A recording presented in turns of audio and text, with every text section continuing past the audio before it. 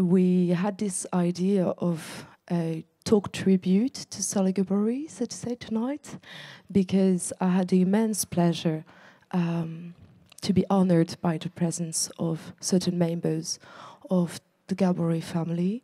Um, Amanda, one of the the youngest daughter of Sally Saligabori, and two of her great grandchildren, Tori Wilson Joanda Sally Gabori, um, and Noel, who will arrive in a minute. Uh, I also had the immense pleasure to have great dialogues with specialists and great contributors, uh, and they are with me tonight, so I will let them speak. Um, Nicola Evans, uh, which is director of Center of Excellence for Dynamics of Language, who is anthropologist and linguist. Um, Nick, you're specialist in endangered uh, languages, and as many of other languages you do speak. You do speak Kayardild, which was very precious to me.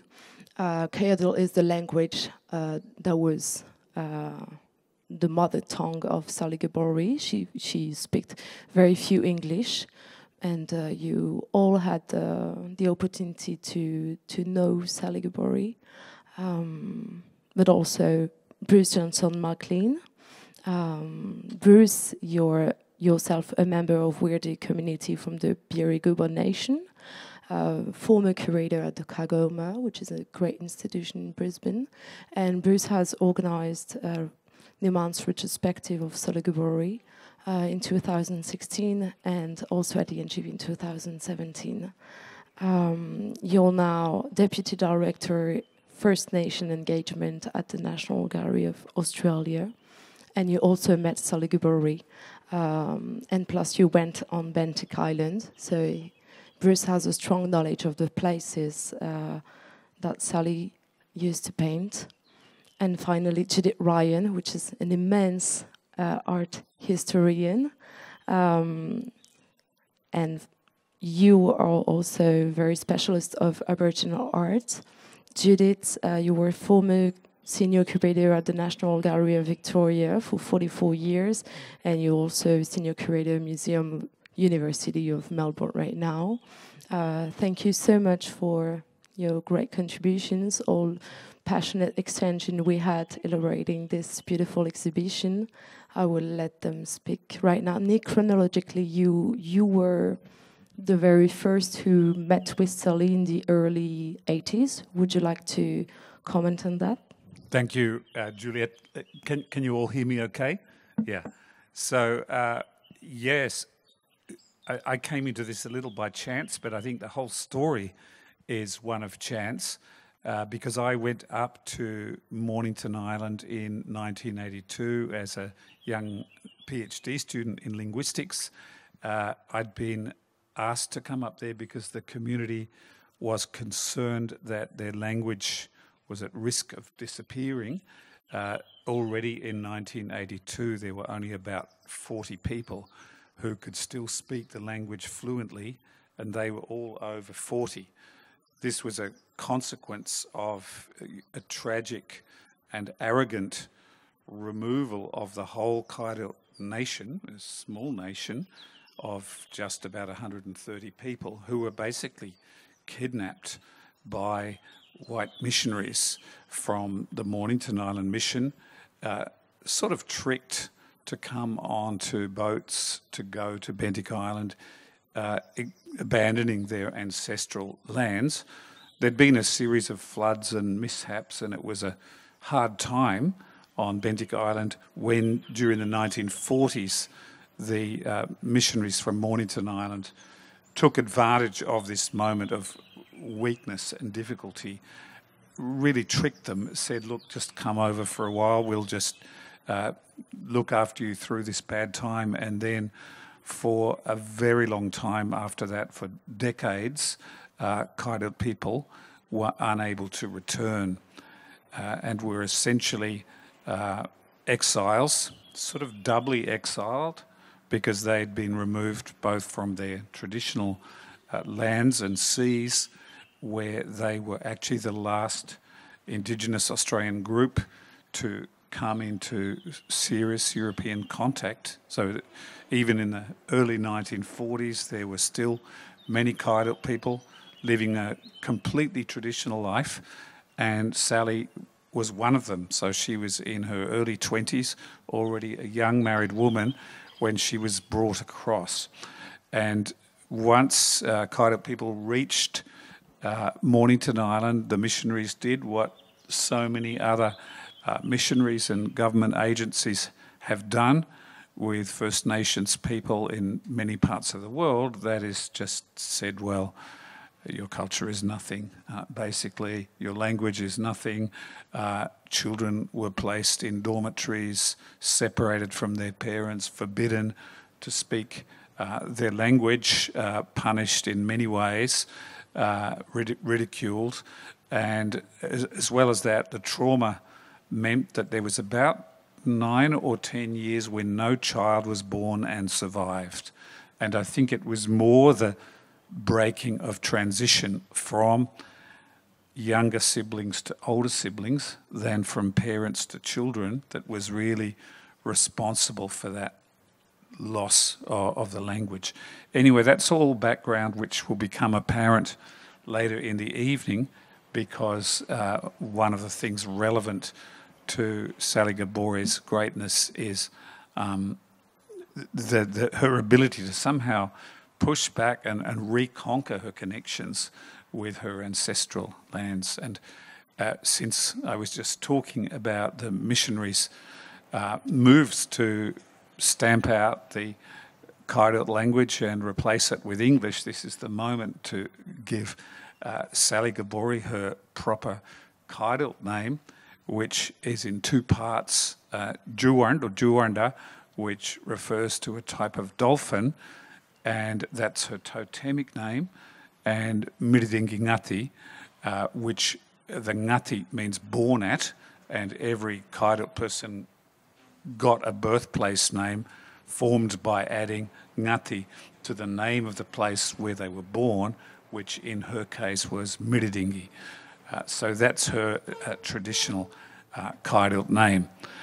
So I got up there in, in 1982. I arrived. I, I had the immense uh, good fortune, something that really changed my life, to be adopted by another Kayardild couple, Darwin and May Moodoonuthi, um, as their son. And it really was like a second life uh, because although they were teaching me language, they were teaching me a whole way of viewing the world and of values as, as well as that.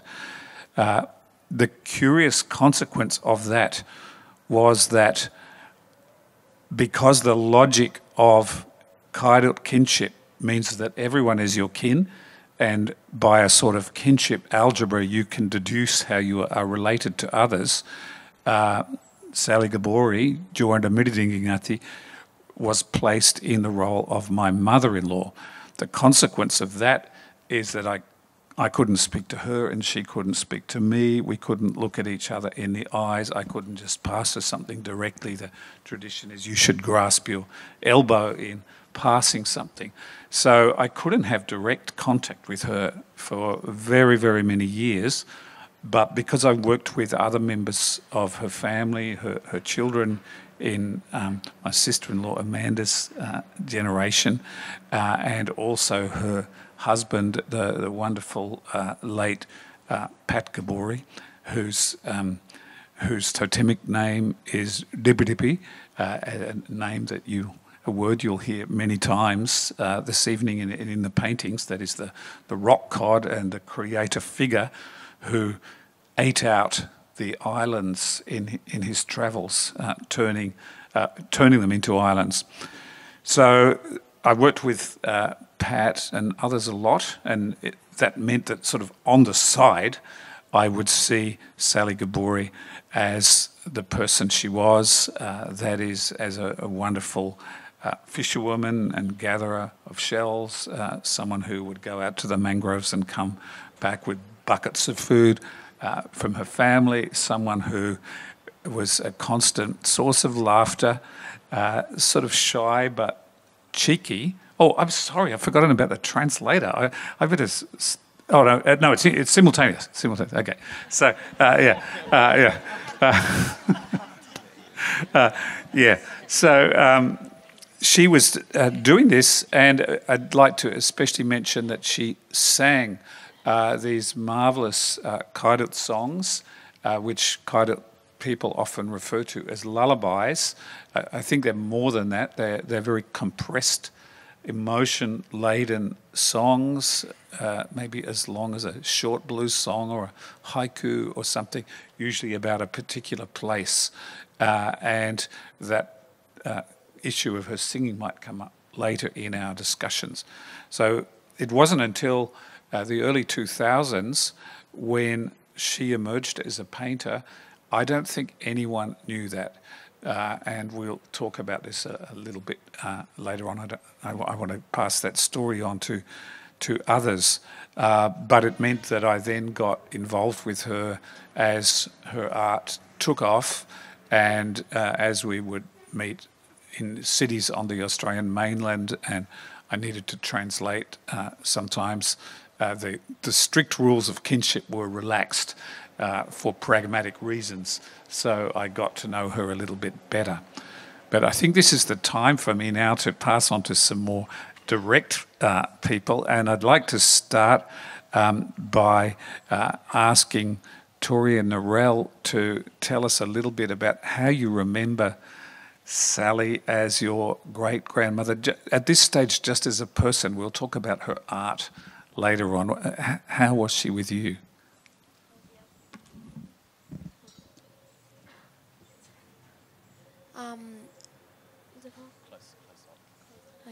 Sorry. Um, I remember my great grandmother. Um, she uh, she was a very loving, caring uh, my lady.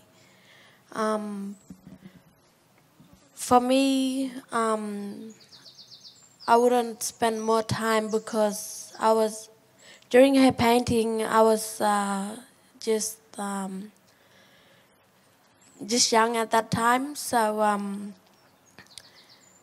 she'd be up doing her paintings up at that center, and um, um, so whenever I would um, needed to catch up, I'd meet meet up with her at um, Amanda's place. Um, she'd just tell us about what she painted, and she'd sing um, even though we never really um, understood her or what she was saying, but we'd always have one of our grandmothers translating what she said to us. Thank you, Tori.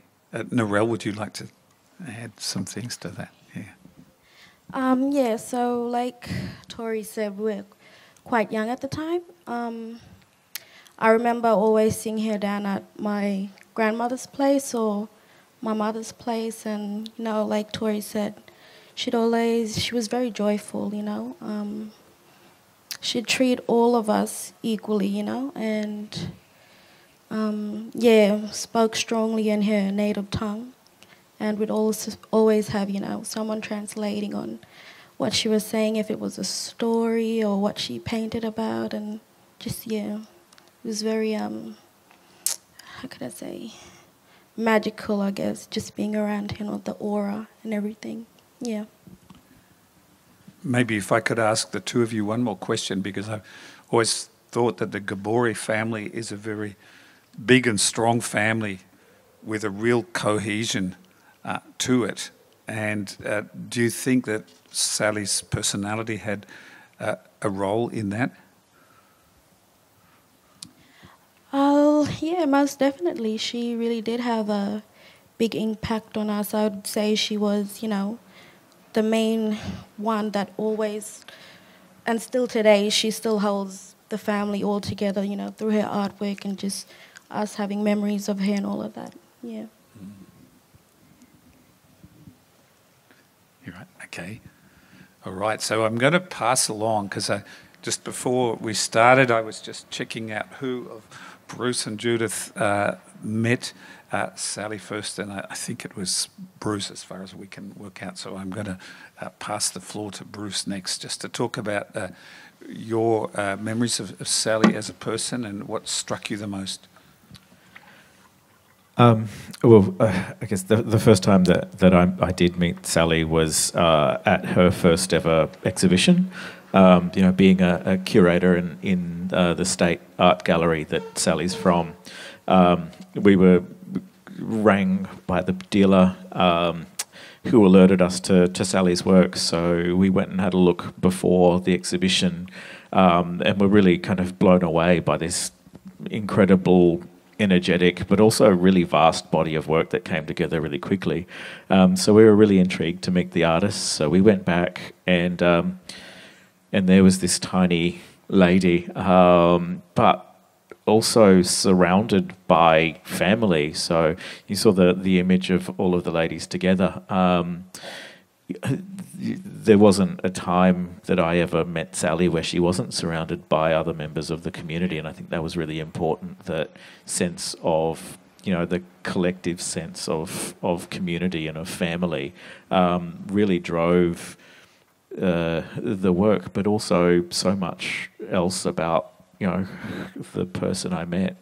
Um, you know, I, I met Sally uh, uh, quite a few times. Every time she came uh, to or through Brisbane, um, in other places, um, but also uh, on Mornington Island, um, and there was always a sense that um, you know, she was a matriarch, um, somebody that all of those other members of the community looked up to, um, often deferred to, and you get a sense of that in the collaborative paintings in the exhibition as well.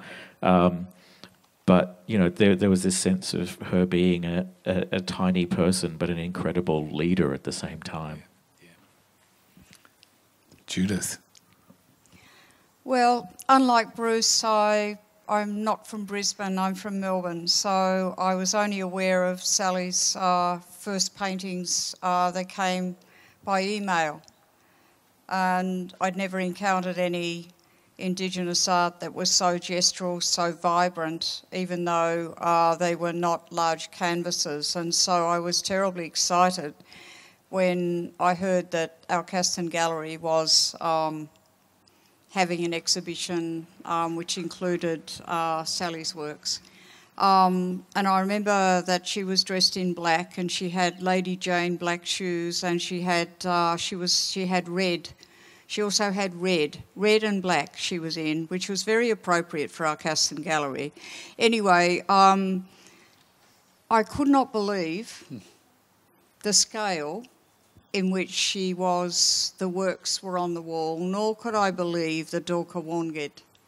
Her section of the Dulka Warngiid with the gestural paint in the centre, and it was like she was bursting to have a larger say in the composition. But what was incredible was that all of the seven artists each had their own style and way of working.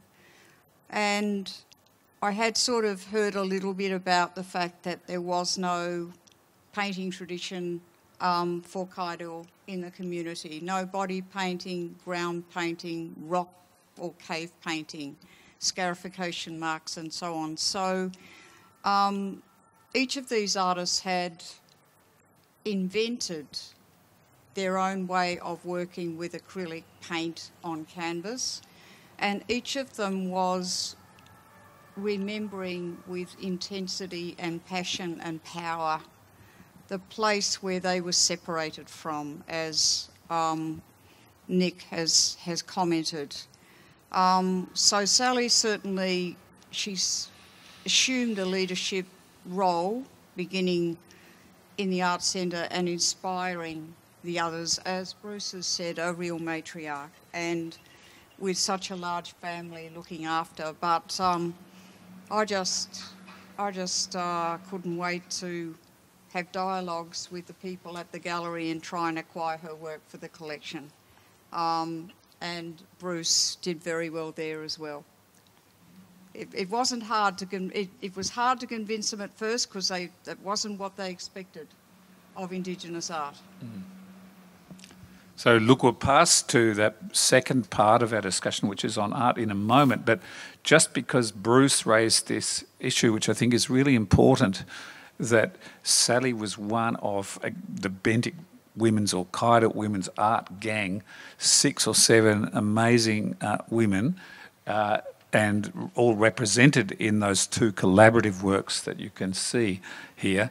Um, and they were a force to be reckoned with. They all emerged at the same time. Each had a very different style. I, I, don't think you could call them a movement or something like that. They were they were too different. But I just wanted to again come back to the two of you, Tori and Narelle, and ask you if you have memories of them as a as a gang, as a group, uh, when you saw them together.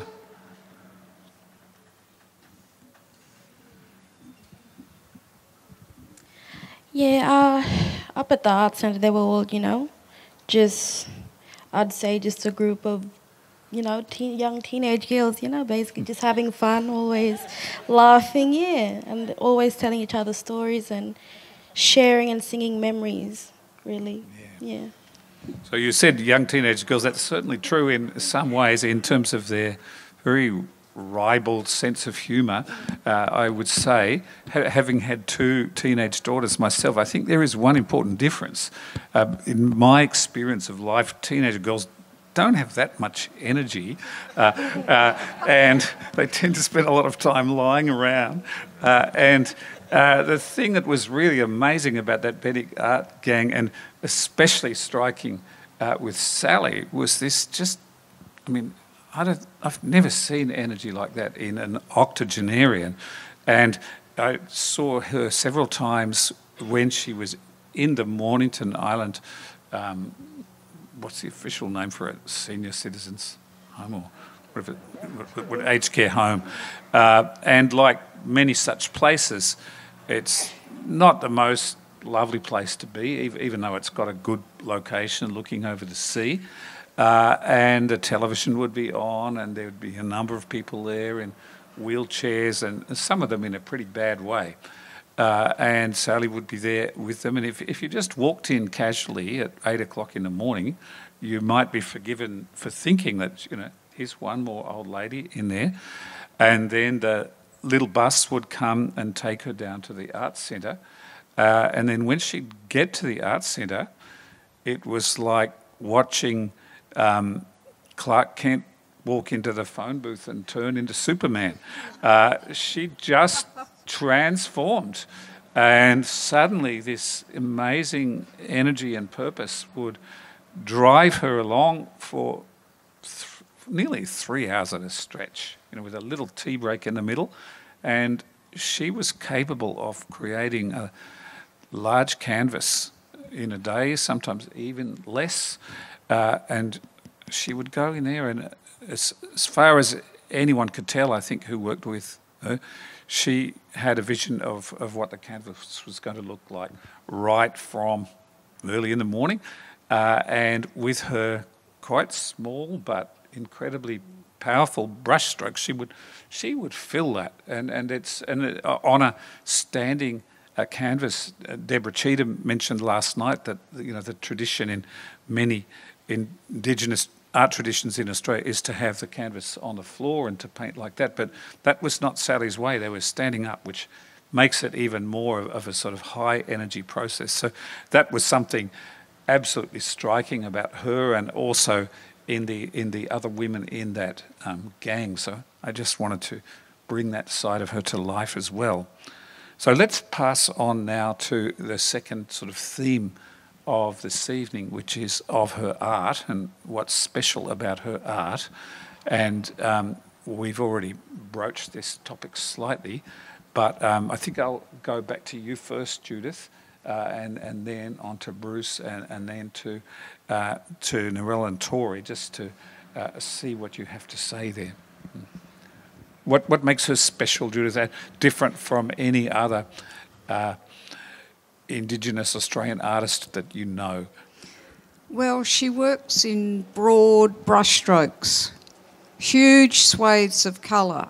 She's working wet on wet, so the pigment might not have dried. She's um, working she can see in her mind her memory and she translates that into pigment itself. And I think it's, uh, the, it's the power of colour, the power of gesture, and also the texture in the paint. But she can expand or contract a composition to fit the canvas she's been given.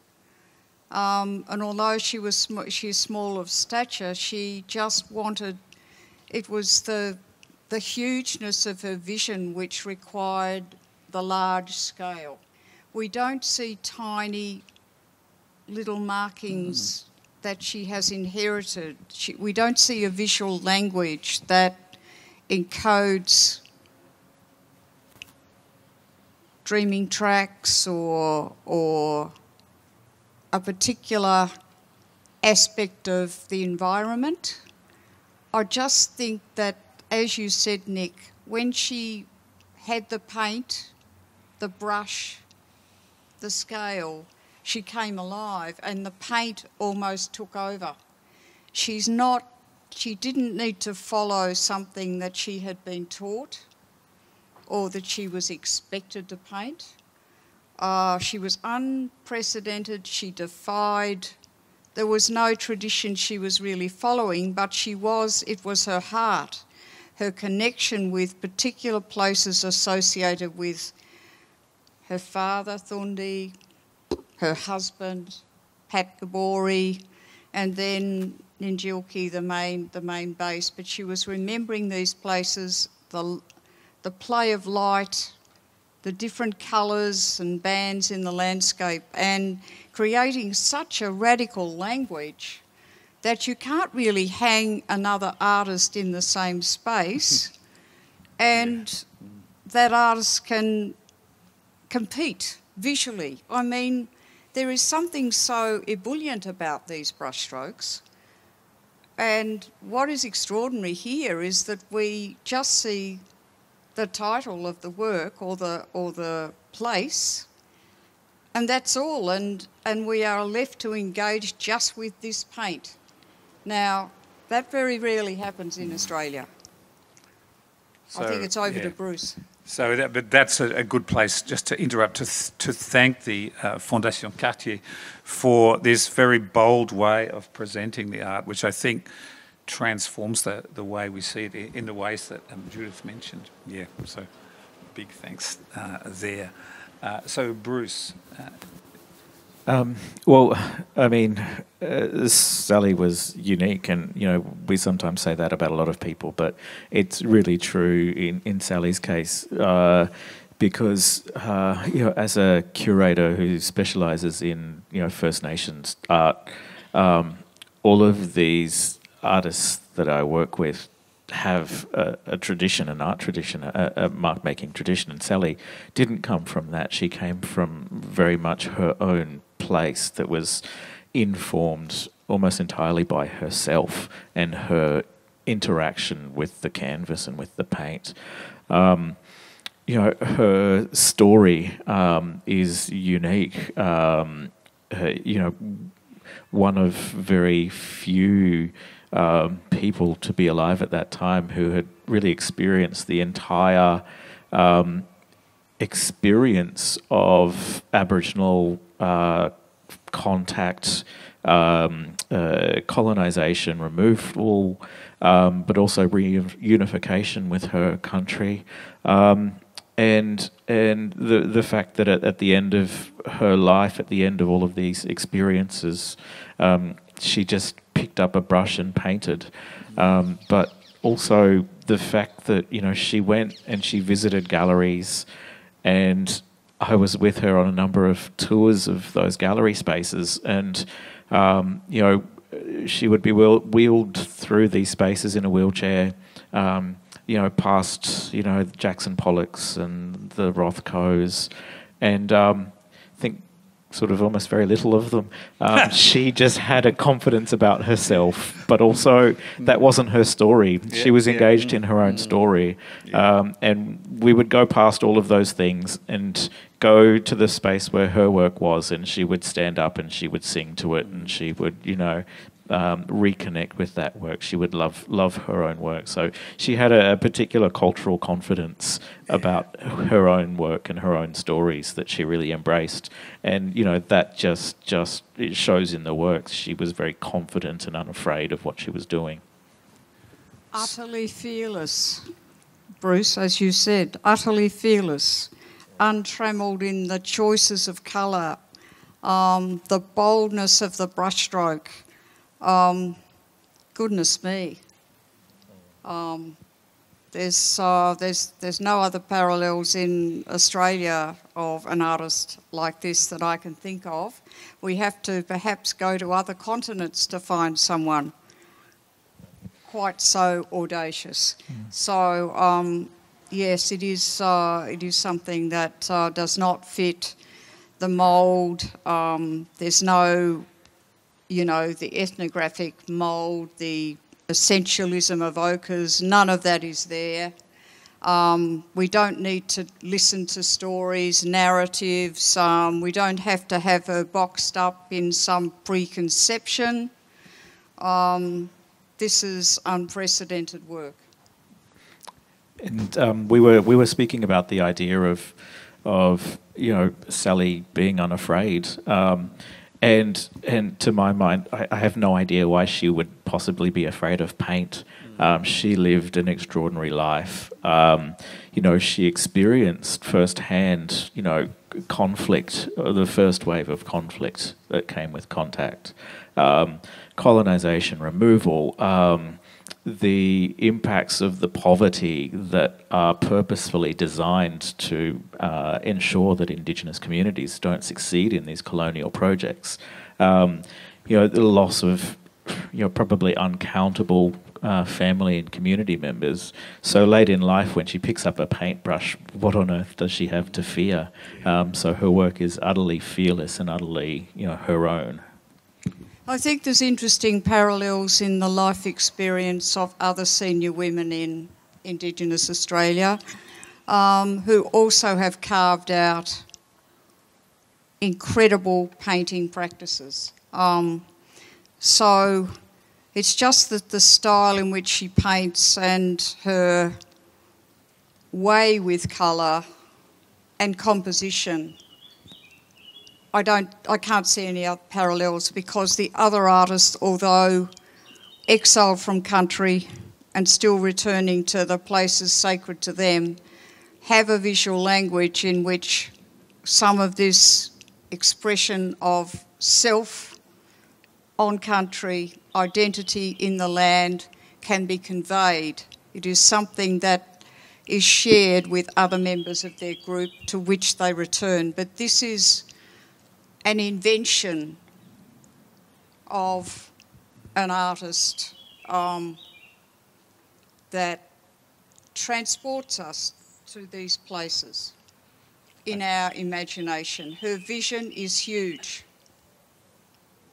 And her story is, is one of resilience after intense trauma, as Bruce has outlined intense trauma that um, it's very difficult to comprehend the gulfs in which she um, had to survive and transcend expectations of the art world.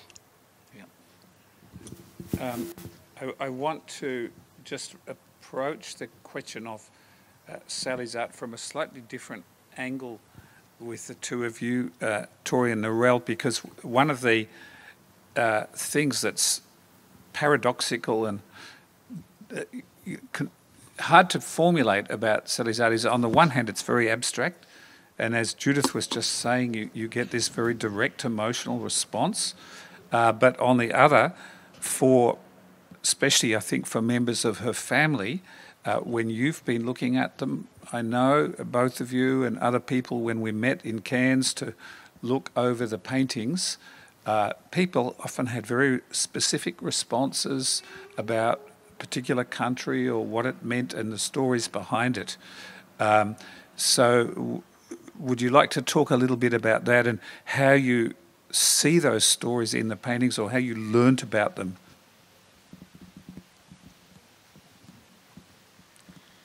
My um, great grandmother, she um, she brought back a home, which is Bentinck Island, throughout um, throughout her paintings. Um, she gave the cattle people um, strength to know that we still have our, our island still with us. Yeah, if, if it wasn't for her, um, Bentinck Island wouldn't be recognized today in this society. Um, so I'm very thankful she she put she put it out throughout throughout her paintings.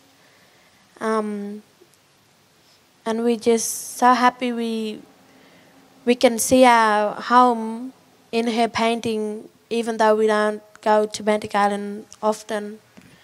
Um, we can just walk up into an art gallery and just see our home hanging up on the wall. Narelle, would you like to add anything about that? Um, yeah, um, you know, especially coming over from the mainlands on the plains, you can kind of see where the islands are. And then, you know, with, well, especially for me, I can kind of vision and see, you know, where the places she painted and all of that, you know, yeah. So you, think that the view you get from the plane, looking down, you, you see what, especially some of those blocks of colour and contours that you see in the paintings? Mm. Yeah, very much. Yeah.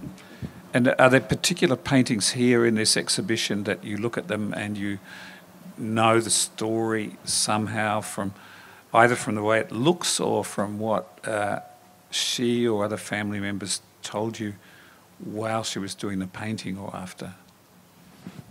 I think it's a bit of both, yeah. Yeah. Mm. All right. Um, well, let's um, just pass to the last part of our discussion, which is on the legacy that she leaves, and, and already, uh, especially Tori, what you were saying, it's already moving um, onto this. Um, but again, I'd like to just maybe start with uh, you, uh, Judith, uh, as someone who has this immense view of uh, the whole range of, of Indigenous art in Australia, especially uh, women painters that I know have been your interest for a long time, but more than that, um, what do you see as the most important aspect of Sally Gabori's legacy? Well, you can't do an exhibition of First Peoples art in Australia, you can't curate one without including women. They have been at the forefront now for the past two and a half decades or three decades.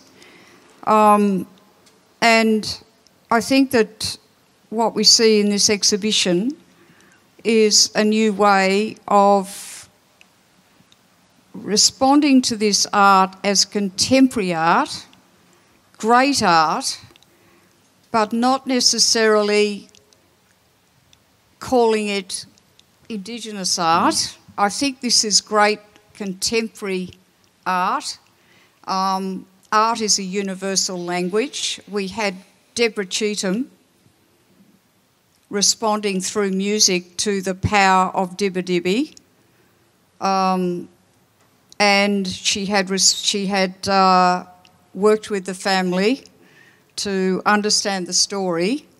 But um, we don't need words because this is work that one encounters directly and communi- can communicate with an artist through that personal response with, the, mm. with each of those paintings. So I think this is a different way. I think also um, Sally has inspired her daughters to paint, and Amanda's painting is in the exhibition. Um, but it's also something for the great grandchildren because, as Tori and Narelle have said, this is so important and special that Bentinck Island has a place in Australian hearts because of the power of her painting. And these places as well come to life in the paint. And in Deborah Cheetham's musical compositions for Dulka Warngid and also um, this Dibirdibi one, which is her world comes to life. Um, and also her story teaches us a lot of what First People have had to endure as a result of colonisation, as Bruce has so um, graphically pointed out, it's something we can never forget and we need to acknowledge. Thank you, Judith. That's um, very powerful, and it's it's really important to remember these things. And of course, it looking into the future, it raises the question of how how we even choose what to display and where to have uh, um, particular collections and so on in, uh, especially in Australia. Of course, here it's less of a problem because there's just a decision to hold an exhibition. Um, and that brings me to a question I'd like to ask Tori and Narelle because uh, in terms of the legacy of art, the actual physical paintings, uh, which have now been collected together here and seen in a way uh, that's never been possible on this scale and with this sort of dramatic uh, way of displaying it, uh, uh, sort of naked and raw. what, how do you see it now that you, you've been here, you've seen the paintings displayed like this, you're going back to Mornington, people will ask you about it, but also you, you'll think about what this means for art on Mornington, both your generation and even younger generations painting, but also seeing uh, what uh, your great grandmother did. Uh, what's your feeling about all of that?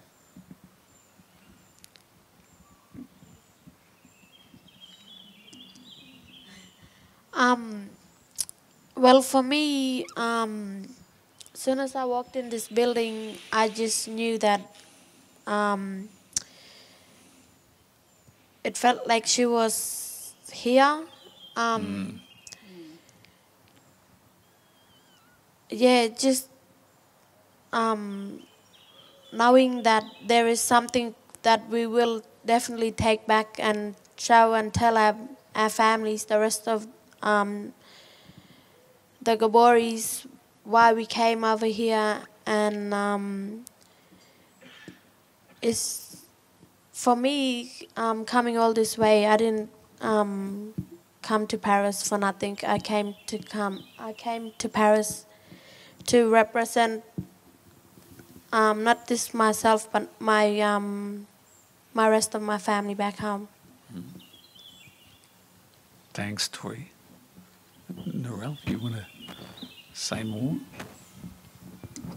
Um, yeah, for me, I'm very, you know, grateful and, um, you know, back in Australia, I'd never thought that I'd want to pursue a career in art. But since being here surrounded, you know, in Paris at Foundation Cartier with my great grandmother side, it, you know, gave me a, how can I say,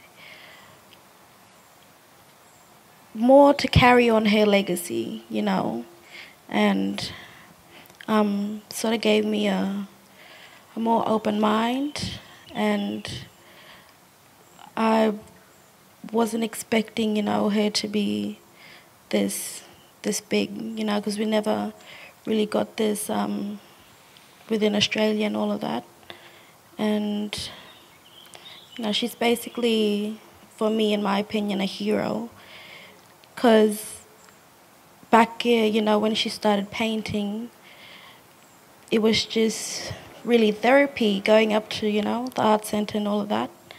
And predominantly, it was mostly dominated by Lardil men, which is which is a different tribe on Mornington, and she really did open doors for a lot of you know us colored women on Mornington she encouraged other family members of the um, Kayardild women to, you know, go in and pick up a paintbrush. Yeah.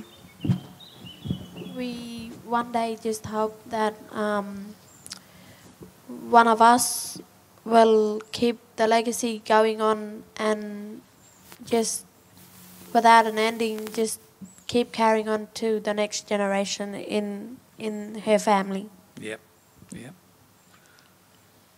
Um, Bruce, I wanted to raise another question with you, which is um, the issue of where art sits in, in terms of paintings and other things like that. We know that from this exhibition we've got the actual paintings on display here, um, which people lucky enough to come to Paris can see.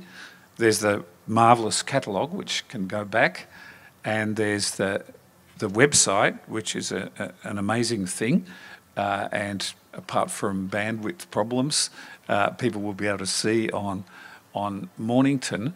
But there is the issue that in so many communities, uh, magnificent art leaves the community to go out into the big cities and overseas, uh, and sometimes people in the community may have only the faintest idea of the masterpieces that have been produced there. So, do you have a perspective uh, from you know the, all of the work you've done with so many communities in uh, First Nations communities in Australia about possible ways to uh, repatriate the, these uh, uh, paintings in a way that uh, makes it all more real and tangible for people in communities?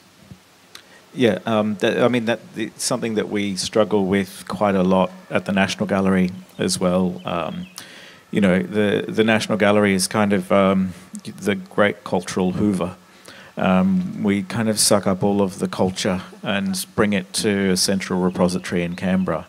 Um, and you know, it speaks to the fact that at, at its worst, particularly for Indigenous communities, um, you know, art can be uh, just a, a, a continuing um, neo-colonial process.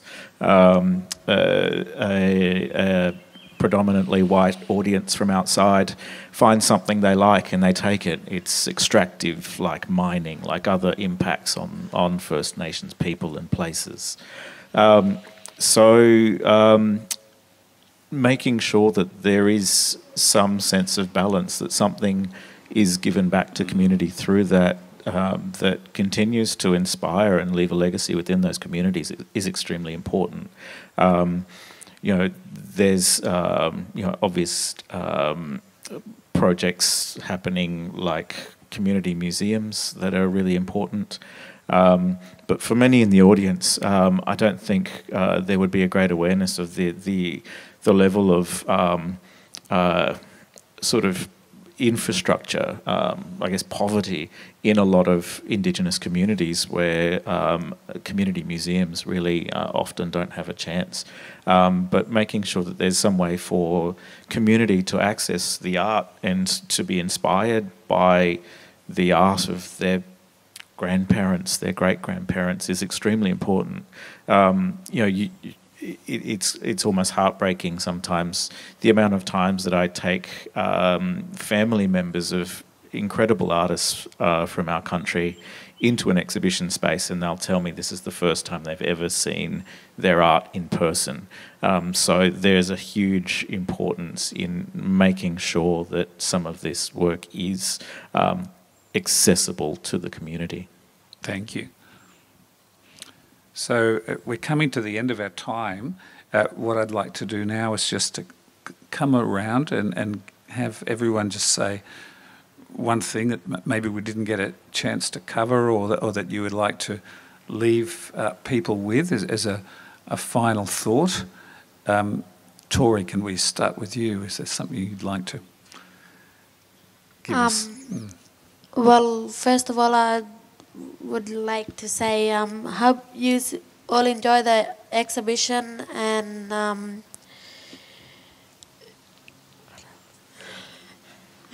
um, I'm just speechless at the moment. Um, yeah, just have something new to for you to go back and tell your families um, what ha- what have you seen um, differently. So yeah, hope you all enjoy it and.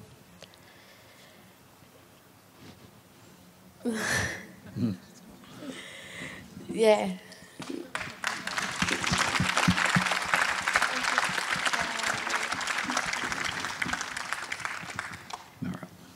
Um, yeah, it's uh, really special, you know, because everyone came in with an open mind. Um, really, you know, a heartfelt moment for me. Um, just would like to thank everyone for coming and, you know, having a experiencing and you know just being surrounded by the aura of um, our great grandmother Mirdidingkingathi Juwarnda. Yeah.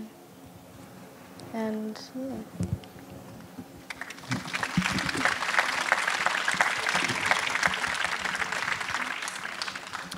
Um, I guess um, you know the the thing I always like to leave um, Sally's work with is um, is a, a, a, sense of love. Um, you know, uh, we went over all of the things that she'd encountered her in her life, the incredible struggles that she had, but at the end, you know, there's this sense of triumph because. Um, you know, a lot of the artists uh, that uh, I work with um, produce work that is about anger, it's about trauma, it's about torment, and that's entirely appropriate. Um, but for Sally, there was just this moment at the end of her life where, you know, she just picked up a paintbrush and just transcended everything that had happened and just created these great works of love. Um, and I think that's quite extraordinary. So that's the sense that I always get whenever I leave the exhibition is, is that sense of, you know, um, of the power of, of the love um, that she had for those people and those places. Yes, um, um, it's a triumph of the human spirit, and I'm so thrilled that Amanda, Tori, and Narelle are able to come here and see a whole body of work.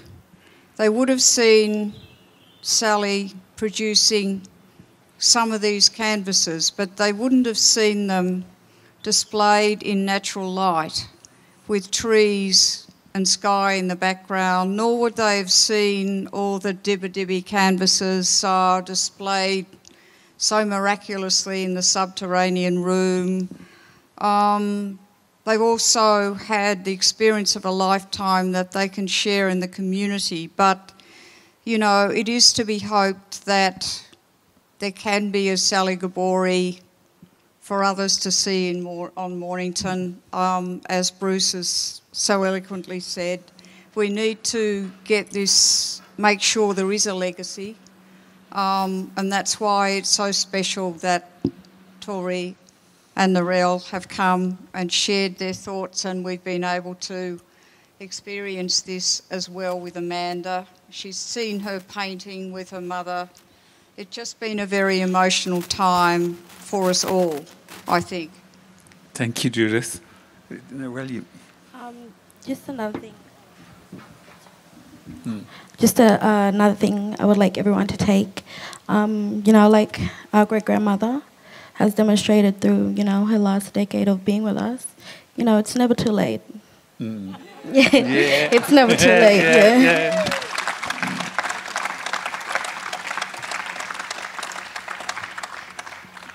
So, both today, uh, when Judith was talking, especially, and last night in one of Deborah's works, this marvelous Kayardild word, uh, Dulka uh, has been used. Uh, and Dulk means place or country or many uh, other things like that. And Warngid can mean both in common, what, what people have in common, and one. And um, Dulka Warngid can have one sense of bringing things together in one place, which is what this exhibition does. It brings together so many pieces that haven't been um, seen together before. In a way, they haven't been seen together, and that I think it does transform our way of seeing Sally Gabori's art, e- even for people who who know it well.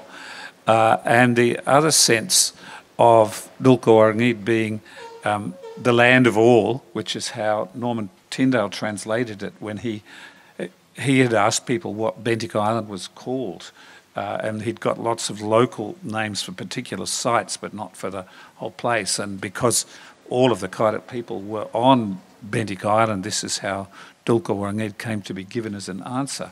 But um, I think that this is a place, this Dulk, uh, for all uh, people to, to see and um, really relate to these incredible paintings.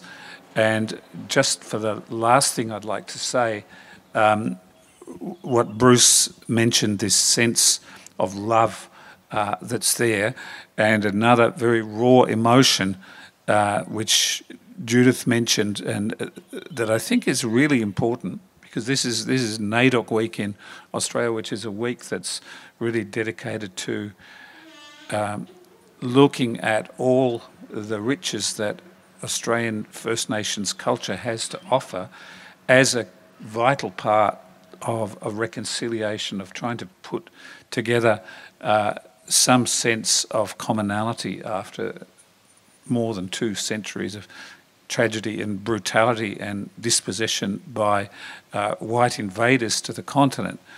Um, but sometimes what is hard to convey is just the joy that people feel on country. And um, it's actually very hard to convey as an emotion.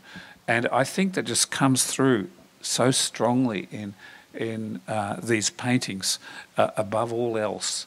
So that's, uh, for me, the single strongest emotional legacy of this um, exhibition. So on that note, I think we can draw things to a close. I don't know, Juliet, if, if, if you want to say anything. I just want to say a huge thank you. You have been honoring me and us by your precious presence. Um, just to mention that this exhibition has been elaborated very closely with the family. Um, as soon as Australia opened the doors, we jumped on the flight to to get to just share with the family everything we have uh, think of uh, developed over the exhibition, and also to share with them. Um, the immense archive that you can find on the website as well, because we really wanted the audience to to meet with Sally Gabori first by the paintings and not being essentialized uh, as a kid, a woman first, but it was important also to share with the audience the extraordinary path of this woman. Um, and I'm very thankful as a human uh, for your presence, uh, Amanda, Tori, Norel, and uh, the three of you as well, because it has been an immense pleasure and a very huge learning to me. Thank you so much. Merci beaucoup. Thank you.